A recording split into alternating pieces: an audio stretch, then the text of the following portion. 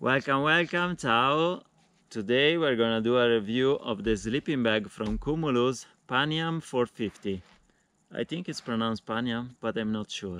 If you're new to the channel, my name is Davide Travelli, alaska2patagonia.com, and uh, I've been cycling around the world uh, since uh, 2015.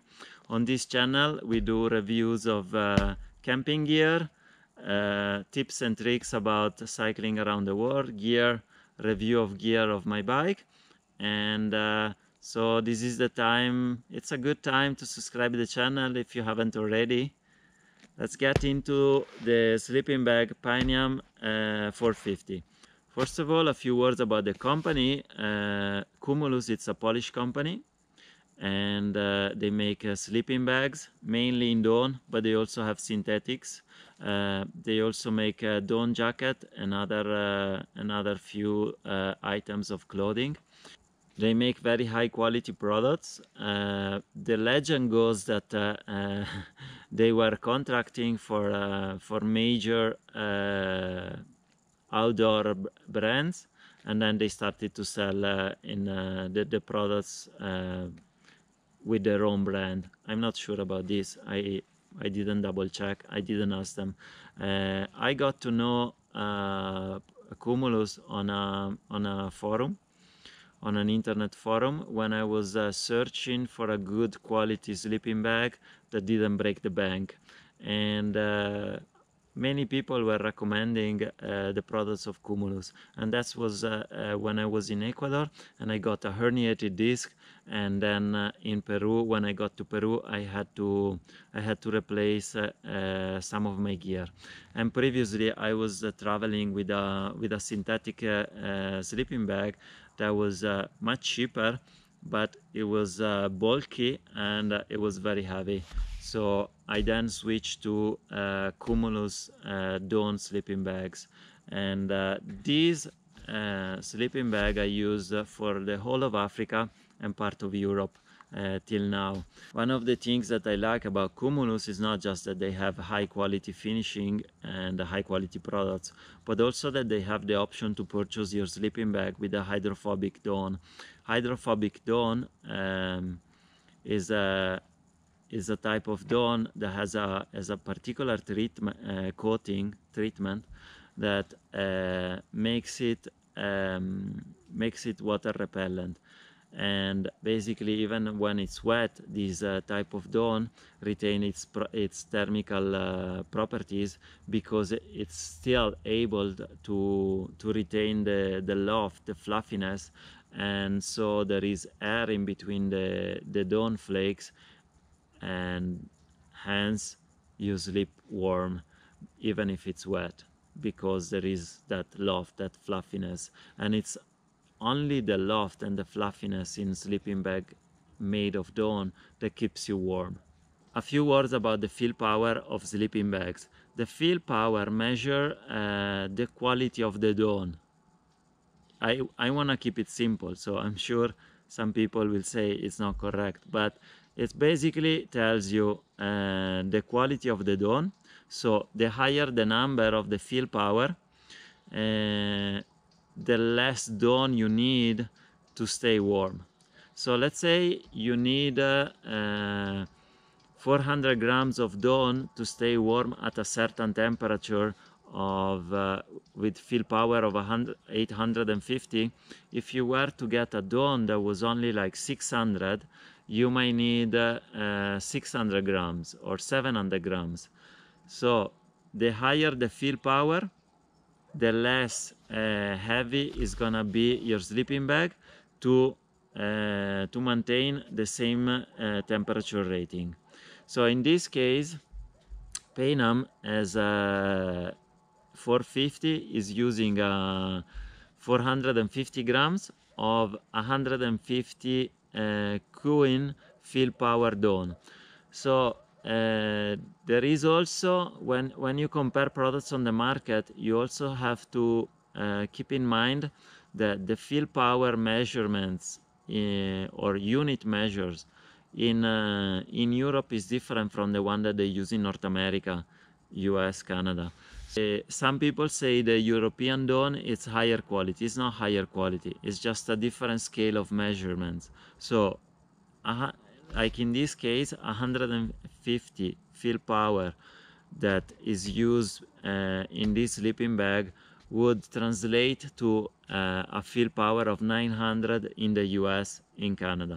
So if you see fill power of uh, 850 in North America, it corresponds to 800 in uh, in uh, in Europe. And if you see in Europe uh, 900 fill power, to have the same quality of down in the US, you would have to look for 950. Cumulus give you the chance to customize uh, as much as you want their sleeping bags. They have like a, um, a creator session on their uh, on their website where you choose one model and then you can customize everything about that model. As a standard, you can choose uh, um, the the zipper to have it on your left hand side, on your right hand side, and that's standard any other uh, customization uh, you pay a price.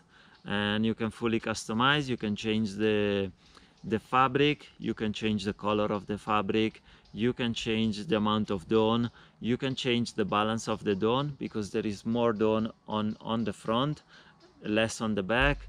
Um, you can customize so many things uh, but then it gets more expensive uh, the um, a customization that I would recommend that you don't really see in, uh, as an option when you choose left zipper or right zipper is the hydrophobic down.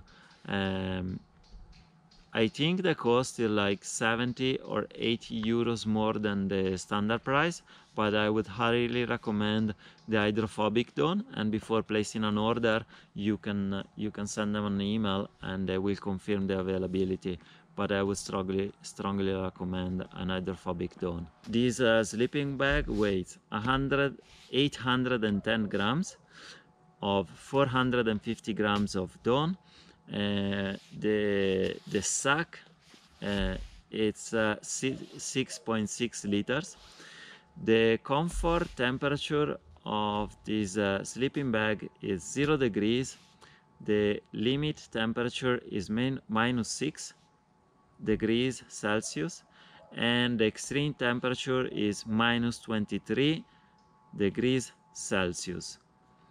Now, when you, when you choose uh, the sleeping bag, I usually look for the for the comfort uh, temperature.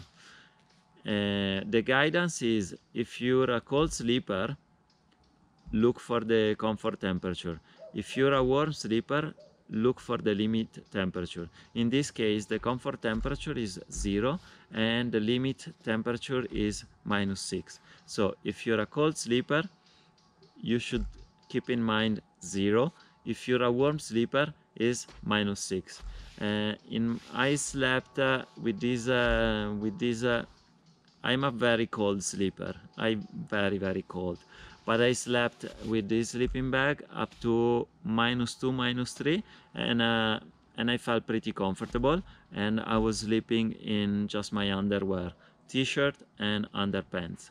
Uh, I guess you could use it till uh, minus uh, min even if you're a cold sleeper you could use it till uh, between minus 6 and uh, and minus 10 if you're wearing some clothing maybe if you're wearing your uh, uh, some uh, some thermical underwear or if you're wear wearing some clothes some socks some pants uh, like um, like uh, some base layer mid layer and maybe a down jacket you should get uh, pretty easily to to minus 10 in my opinion. So all in all i think this is like a four season uh, uh, i would consider like a four season uh, sleeping bag that you can uh, you can buy for your bike adventure if you're crossing a continent and you go through a different range of uh, of temperature and climates. I started uh, crossing africa when it was winter in south africa and namibia and I felt pretty comfortable with this sleeping bag, although as I mentioned uh, the coldest night I think was minus 3 in Namibia. And uh, and then when I was in very hot climates I would just keep it open and uh, and use it as a blanket basically. Only when I need it uh, during the night at the beginning maybe you don't need it because it's pretty warm and then it cools down and you need to you need a little bit of warmth so I usually opened it and use it as partially as a blanket um, what I like about this uh, sleeping bag is the, the quality of the materials, the quality builds, the quality of the zipper. Uh, it has like a neck um, that you can adjust uh, to stop drafts coming in if it gets very very cold but I never really used it um, I think uh, you would use it if it gets very cold like minus 10 minus 15 something like that. Um, what I don't like uh, about the sleeping bag is that the zipper doesn't open till uh, till the end but the foot box doesn't doesn't open. Now there are very very few uh, sleeping bags that you can open till the the foot box. So it's not it's not unusual. Uh, but it would have been nicer yeah, especially because I I need to to regulate the temperature of my body uh, frequently during the night. When you purchase the sleeping bag from Cumulus, it comes with um, with this big bag and this is a bag for long-term storage of your sleeping bag. Let's say that you uh, are not gonna use your sleeping bag for more than say a month two months uh, you need to store it for a year or two in between your adventures.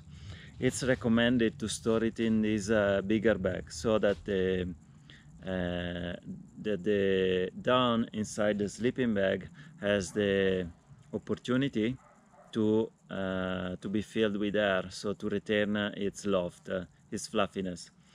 If we keep it in the in the small compression bag the down keep uh, stay compressed for a very long time and the down tends to have a little bit of memory so if you compress it for a very long time it doesn't go back uh, to the same fluffiness the same loft that it had originally. If, if that happens then we lose uh, some of the thermic uh, properties of the down so it's not gonna gonna keep you as warm as it was when it when it was new.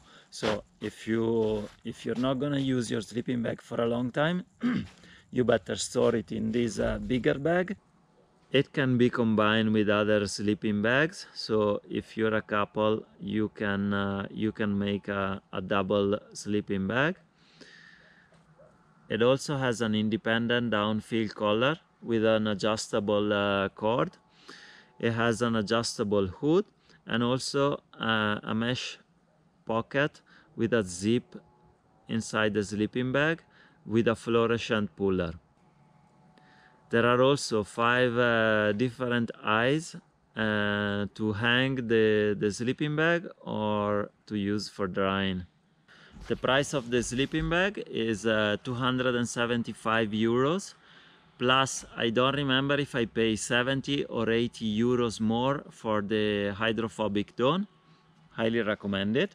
And uh, yeah that's uh, that's all I think if you're on the market for a good sleeping bag for um, crossing a continent or for uh, long-term traveling uh, that you can use in uh, in various situations that is versatile I think you could consider uh, the Panyam uh, 450.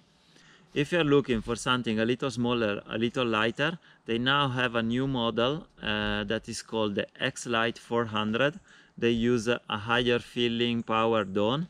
They use uh, uh, some lighter materials, some lighter fabrics, and a different type of construction that is a little tighter. And that sleeping bag gives you more or less they say a little more to be honest um, thermic insulation as this this sleeping bag but obviously it comes with a price and it costs 100 euros more. It costs 375 uh, euros. That's all for the Panyam 450 i hope this was helpful if you were looking for information on the Panyam 450 or if you're looking or if you're in the market for a, for a new sleeping bag that it can be versatile and used in more than one season if you find this video useful please hit the like button it helps my channel subscribe if you haven't already if you didn't like the video click twice on dislike and uh, I'll see you in the next video. Ciao!